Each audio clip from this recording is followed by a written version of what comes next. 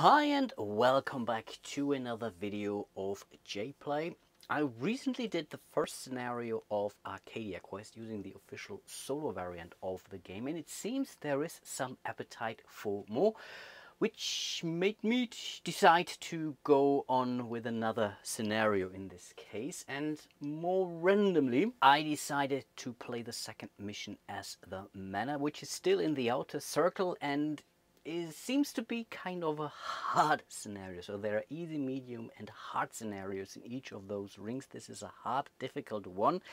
And the solo rules even mentioned don't play this as your very first encounter. It's the second, so I might still go down in this case. But let's see what this is all about. If there's anything trolls love, it's rich food and a large menu to choose from. Thus, it's no surprise that Schmetterling, the troll chef de cuisine, chose his vast estate as his residence. With such a huge kitchen and ample dungeons, Schmetterling keeps a fresh stock of the richest food. Arcadia's former nobility, although it's debatable just how rich they are these days, what with being prisoner, uh, prisoners and all. The manor, as it has come to be called, is now one of Arcadia's finest restaurants. Guest books their reservations weeks in advance, not just for the fantastic food, but for Schmetterlings in famous tirades. By the way, Schmetterling is the German word for butterfly, just in case you were wondering. So what we need to achieve in this particular scenario is to defeat this lovely fella here. So that's Schmetterling, who is a so-called minor villain, which means he is rolling some defense dice and he gets two rerolls and he targets all close heroes when he is attacking. So this can really come back to bite me. All the other minions, or minor minions in this case, the Goblin Archer, the Orc Marauder, the Hammer Beastman and the Orc Captain are already on level 2 as we have basically playing our second mission and they are leveling up the same as you do. And ultimately, this is the manor here. We are starting down here. Again, we always have to start our playthrough from the player one. And there are various ways inside the manor. We can really go through this door. We can beam in here through those teleportation points, which I believe, yeah, we have used in our very first scenario. But that's not all. I mean, he's really not easy to defeat. He comes with five health points. It is beatable, I guess, but still not easy. But we also have to save some lords, or basically one of the lords in a solo game, who happen to be basically just next to those guys here. The guards in this case, only two of them are those measly little goblin archers, which means they are not moving unless I decide to kill them. But that's the idea. They're going to protect those lords here. And if we are successful, and we have to be successful in order to win this scenario, we are getting a reward in return. And in this case, that's the Heart of Angelus, which is a permanent bling. Whenever this hero suffers any wounds, heal one wound from all allies. So that's a very powerful thing. So even though if I might not win this particular scenario, I still want to get hold of this um, yeah, little bling, this amulet here. Really looks very, very tempting. In respect to the heroes, I have redistributed our new belongings. So Scarlet is now using the crescent bow and the slingshot, so basically two ranged weapons. I was debating if I also should give her some melee attack, the parrying blade or maybe the rusty blade. For now, let's not do that. I can still redecide that if I, when I go through my first rest, which will happen rather sooner than later. I also gave the armor to Maya. So she's kind of our second tank to some extent. And I also gave her the life drain. So she's basically our wizard in this case. Um, the only thing why I did this, she can basically exhaust each magic attack card twice. So giving her a normal weapon still would help her, so she can also use the Orc Beater here, for example. There are no limitations to that, but yeah, she can use those spells definitely way more efficiently. And yeah, I think with that being said, we should be ready to go again. I am allowed to go first, but I still haven't decided yet which path to take. I mean, if this guy doesn't move too soon, I'm in an okay shape. And honestly, getting in there as soon as possible might help us. The problem is, in order to get basically in here, we have to go to the second um, teleportation point here, which we can only enter going into one of those blue teleportation points here. Maybe we do have to split up, I don't know. But I think ultimately one of our first targets should be this Orc. And by the way, this is now an Orc Captain, so they're using this pinkish purple kind of base to distinguish them. They're carrying swords, whereas these do carry some um, axes. They're a little bit more powerful than the normal or the average Orc Marauder. Yeah, I think I have talked my way into that. I can still decide then later on if I want to simply move through this door then as well, if everything goes well or not so well, then I might still reconsider. I think this is a very good first direction to move. I think I'm not going to start with Grom. I think we may want to start with either Scarlet or with Maya, simply because um, Grom wouldn't make it to the Orc Marauder here. One to open the door, one and two to move out here, and then yeah, he's not using any ranged weapons in this case. And if someone else is opening the door, then yeah, he could then move out directly and, and, and hit this fellow. So yeah, let's do that. So we will start with Maya because she is again our second tank in this case and she can suck up some damage, I guess, if worse comes to worse. There are things I did forget or play incorrectly during my very first chapter of this campaign, which is around the payback reaction from those folks. I will hopefully try to remember that this round, but I will not take it back. So I'm pretty sure it didn't change a lot of things. So I'm relatively certain no one would have died. So I think let's keep going. And I left some comments just in case anyway. Okay, let's go one movement point to open that door one and two remaining movement points to move in here. Unfortunately, we will not be able to hit the Orc Marauder from this space because again, you always draw the line from center to center, which is something, so the um, line of sight rule in Imperial Assault is really amazing. In this case, I would have been allowed to draw the line from here. But okay, it is what it is. Now she is going to attack. And I think she might as well. Doesn't really matter too much. But as she isn't wounded yet, still the Nova Bolt is pretty cool. Now let's start with a life drain. And let's roll some dice. These level 2 monsters, um, the Orc Marauders, now have three points worth of health. I think I think during the first they only have two, so I'm it's relatively unlikely that she's going to defeat that. The overkill is a four, which for a ranged attack for a relatively weak spell is of course unrealistic. So she's rolling two dice, right? And okay, that's one hit. I take that for sure. Now we do have the payback reaction. He can move one space further and she's hitting her still with only quote-unquote three dice. That's at least something. She's now basically defending herself with one plus two dice from the armor here. So this is something which she really significantly improved. So let's simply hope for the best here.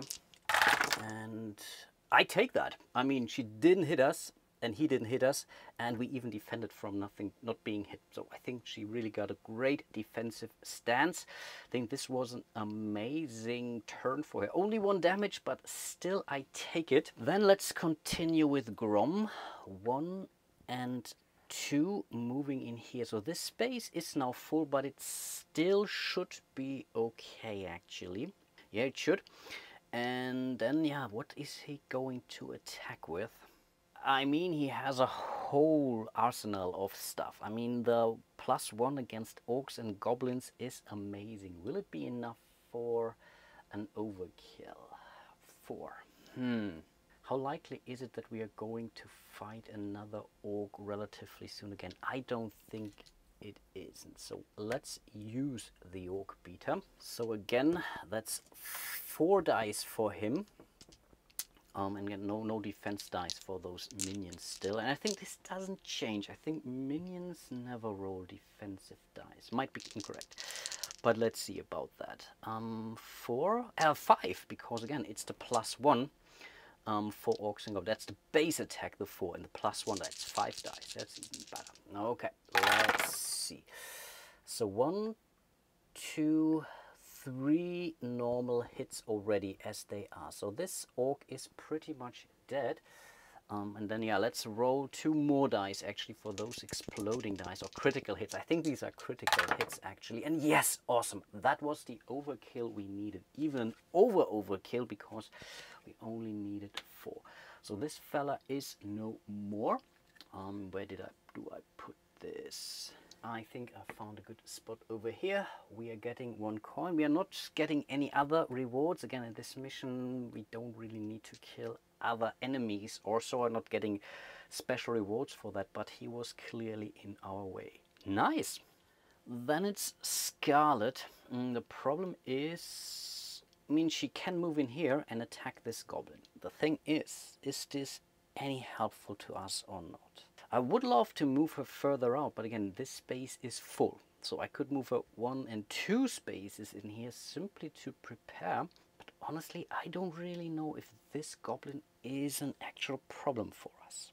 And I want to hold on to my weapons for now. So let's not do that. So she's simply moving one and two and is not going to attack. This might be a terrible mistake but I will still take my chances here. And that pretty much ends the hero's turn. We are moving over to the monsters.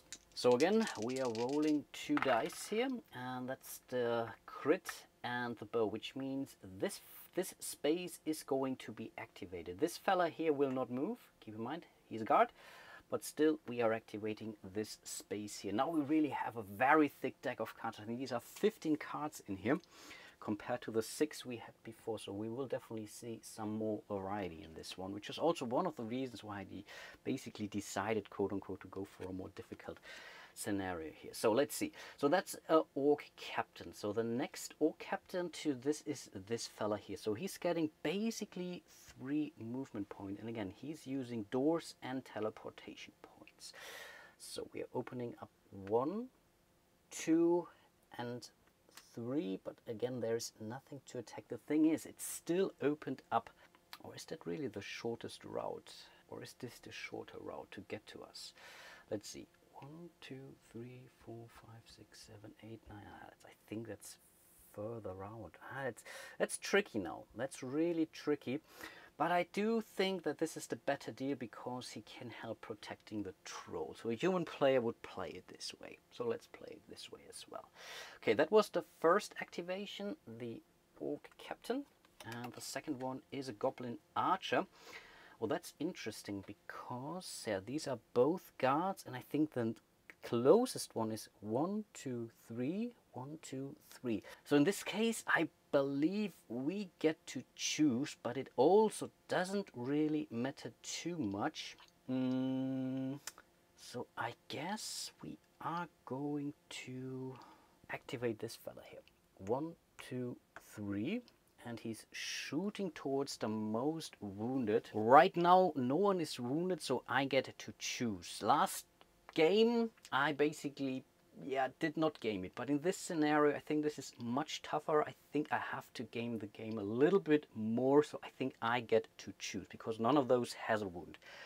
And then I get to choose. So I think this goblin is attacking Grom, hopefully giving him one, exactly one wound or so, so that he will roll one extra die when attacking.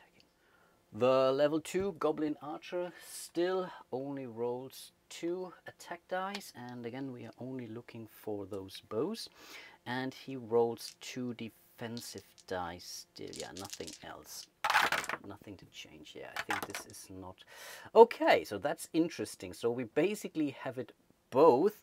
So we basically roll two more dice in this case. And yes he did one damage to us normally I shouldn't be happy about this, but for Grom, I still think that this was worth it. So he is definitely hitting harder now, which isn't bad. But those were basic, basically both of our monster activations this round. So it's back to our heroes. This time I will start with Scarlet. She's moving one, two spaces. You can move through a full space, at least if you have one friendly figure in there. So I think one two. From here again we will not be able no to hit it. So I think we have to leave her here. And in this instance she might want to use the crescent bow. So she's basically rolling three dice. The goblin has two health and needs a three for the overkill. But yeah oh no that's only a one. One is really bad. Yeah that's not great which means the goblin is hitting her back with again two dice here, and she is still defending with three. Now that's at least something. Okay. Uh, basically the same thing. So this is blocked, or this... No, this is not a hit. So we have basically already one. So this is two. We are rolling basically these two here. Okay, I take that. Yeah. Oh no, that's not good enough. Oh, this was basically this right and we have to this is basically two damage we have to roll one more right? Oh yeah, yeah. I almost blew this. Um there are the other dice. Okay. So this is out.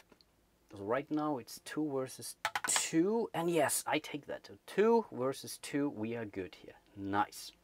But I was really hoping that we could take this fella out so that mm, we would have two attacks against this hammer beast man I mean, we can basically suck up one wound or one, one hit from this guy, right? Do we really care?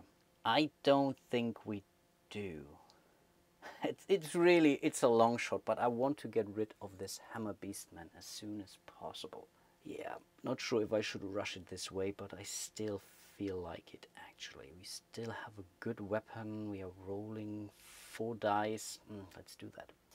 One, two, Oh, wait a second. Mm. We are activating this fella twice, actually. But honestly, I don't think so. It's only moving out, so I think I can open the door without triggering the guard reaction from that goblin. So I think let's do that. So with our third move, we are opening this one here. And then we are going to attack the Hammer Beastman. And again, I'm wrong. I keep forgetting this. This is a very tricky rule in respect to these activations. If you're attacking something that is close to you, you're also able to fend off anyone else that is close to you. So I can basically attack this fella without getting any disturbance from this guy. So maybe I shouldn't even have shot him. Okay, but again, that's too late. Re-rolled dice. So yeah, we are totally attacking this Hammer Beastman, who has four health, needs a six, which again is not really realistic. It gives us two coins, that's at least something. The problem is if he deals a wound, the target is dazed. And again, getting dazed is typically not a good thing, as you're no longer rolling any defensive dice once, uh, as long as you are dazed. So we are of course using our rusty blade. I already regret that I have used the orc beater for the orc, but that's life, right? We are still rolling four dice, keep that in mind, because of his special ability and he is basically wounded, but again, we will most likely not going to overkill this hammer beastman here. Let's roll this sucker. So these are two hits already. That's not too bad. Then we are rolling one more die for the crit. Ah, you kidding me?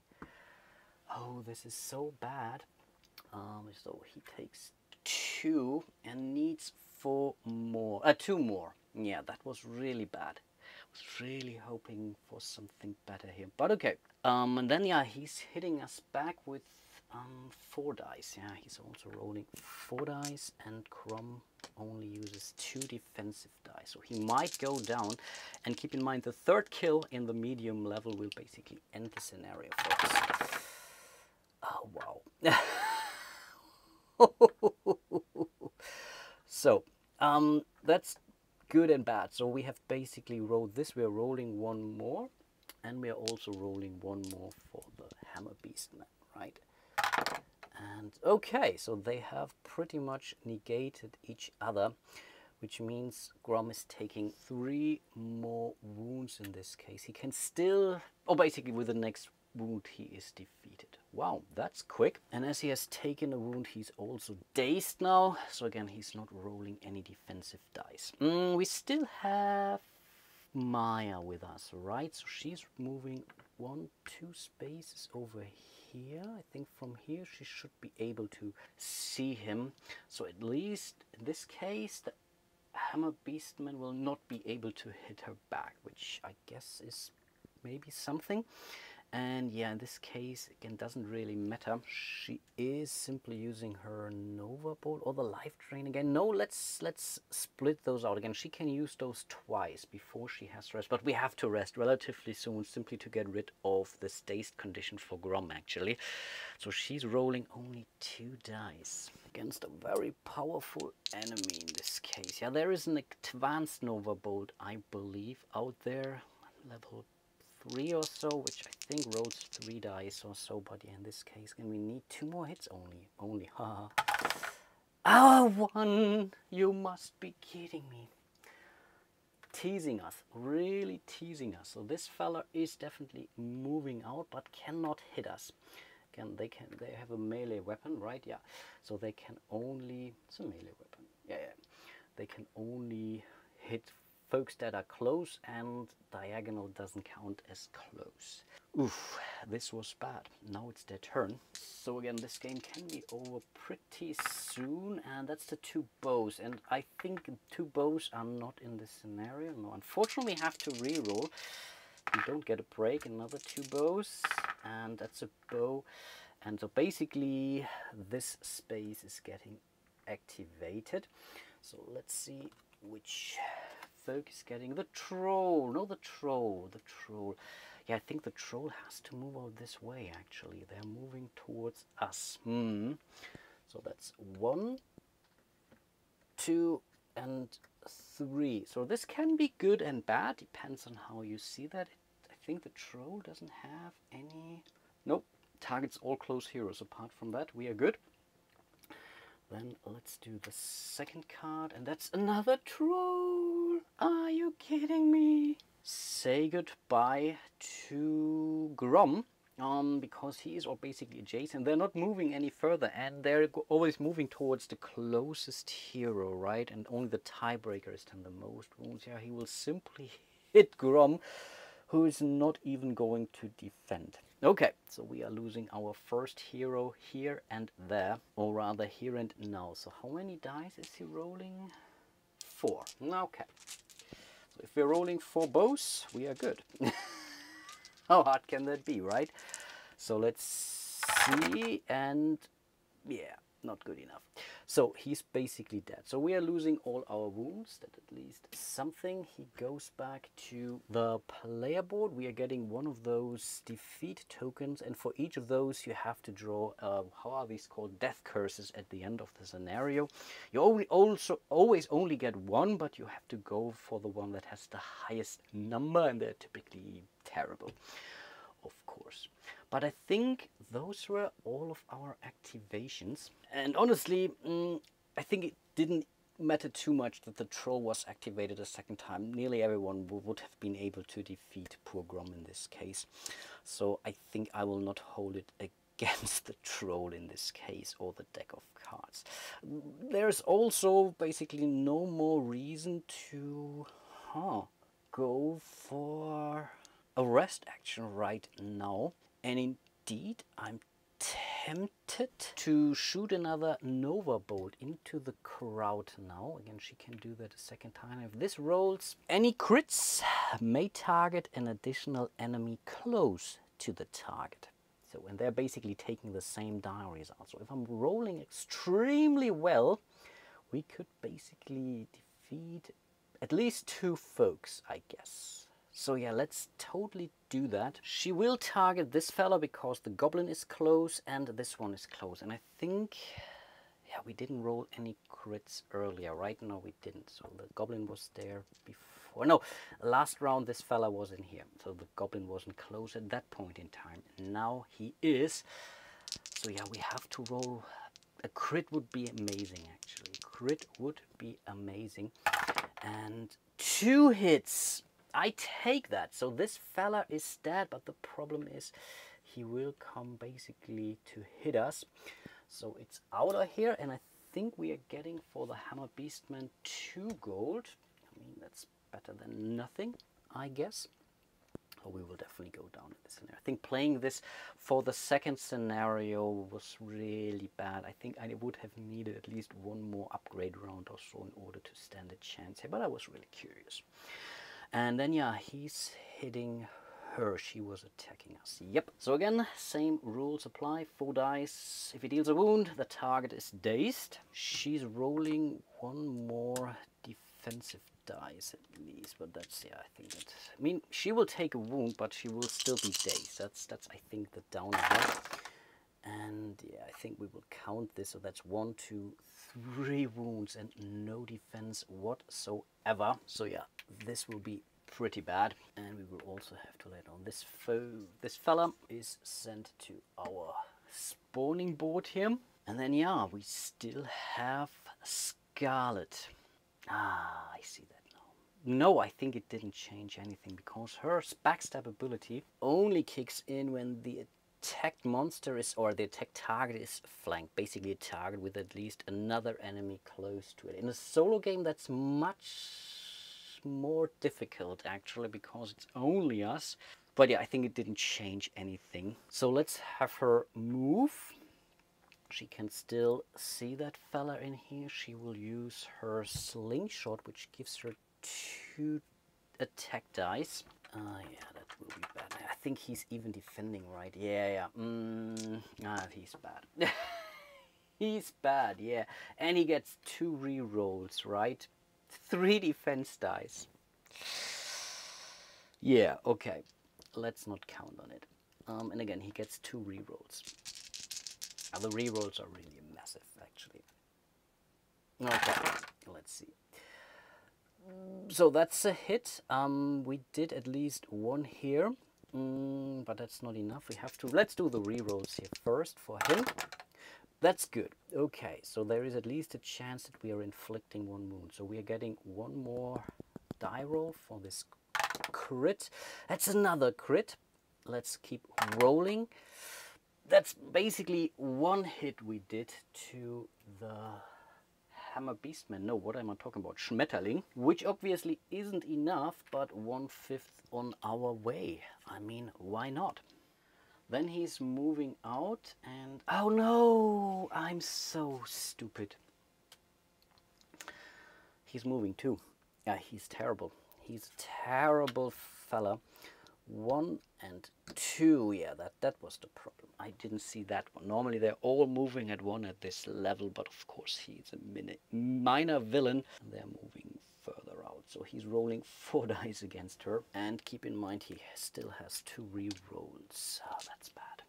So yeah, let's see. Those are four and three for her, right? Yeah, she has three natural, um, let's call it more dodge abilities. I think this is not really an armor, so she simply will try to dodge, but oh boy. Okay, yeah, that's a hit. Basically, one here, one, one, and one. And first of all, we are going to Again, the reroll pool is something we can use uh, anytime. It has a reroll pool of two, which means he's first rolling this one here, which is another hit. Then he gets the crit here, which again, he has one more reroll left. He can use it, and this is not good enough, but it's still three versus one, uh, four versus one defense, so she's taking three hits, which is enough to kill her. Bam. Yeah, that was bad. I think the scenario is over pretty much with our next activation because, yeah, the main problem is that Maya is pretty much defenseless and only can take one more hit before she is defeated. Wow, that's so bad. Uh, and this is pretty much the end of their activation. So we are rolling two dice again for the activation. Let's see, two swords are here. Yep. And honestly, I don't think it matters too much who's going. Yeah, there are some maybe. Okay, let's see. That's the orc captain. The only orc captain. No, we have two orc captains, but the closest one is clearly this one. So he's moving one, two, three. Cannot attack us. Okay, that's at least something. Then the second activation, if that's another orc captain, we are pretty much over. And that's the orc captain. Are you kidding me? Nearly everything else, maybe not the troll here, would have been okay. But the orc captain is pretty brutal. So yes, of course. Um, it's still the closest one, right? One, two, three, one, two, three, four. Yeah, it's still the closest one. So it's moving down one space in here. And it's going to attack poor Maya with, um, what is it? Also four attack dice. And she's not rolling any defenses because of her dazed condition. Wow, that's tough. So yeah, basically we have to hope for three bows and one hit, or three, four bows. Everything else will most likely kill her. And then we have, and that's not enough. one, two. Let's let's play it out, shall we? Um, two more dice here, and yeah, six hits, which is definitely enough to take her out. So she's also being transformed over here which means we have three defeats on our character sheets, which means we have very clearly lost this scenario here. Three deaths on medium, this was the third death. Each scenario is won by completing all PvE quests before your heroes collectively die too many times. The scenario is lost if the number of hero deaths equals equals the chosen difficulty. This was the third death, which means we have lost the scenario. So we will keep playing and this will teach me a lesson of course. The problem is we only got three coins out of this, right? Yeah, one for the Orc Marauder and two for the Hammer Beastman. This is not great, so I may need to go for an easy scenario next, simply because we will not be able to upgrade an awful lot. So we have lost the scenario, we are revealing six upgrade cards. The monsters have taken the lion's share of the goodies. You may then purchase up to three cards, spending your coins normally, and may save one coin as in the normal game. Apply death curses to each hero normally before proceeding to the next scenario, and this time we will see some death curses too. So here are the cards we have at our disposal. So in theory, again, we could go for the Cloak of Displacement plus the Decimator here, for example. Here's the Life Drain 2, which is also nice, which gives us basically three ranged attack, but each heals, heals one wound from this hero and one close ally. So this can be pretty nice. The Crushing Gauntlet plus two dice to a non-magic melee attack. This hero takes one wound. So I don't know if that's, it's not a bad thing. What about the Cloak of Displacement, which says at the start of your turn you may switch place between this hero and an ally. Drop all quest tokens. Mm, that's nice. So if we are in a very dangerous zone somewhere, we could teleport ourselves out. But I think I will go for the life drain. We have three coins. What's the decimator here? Yeah, that's also great. It would be basically two great things now. Mm, maybe we should go for the decimator first. And we have still one more coin for the next scenario. Life Drain is nice. Maybe we should do good. I mean, he already has some good weapons actually.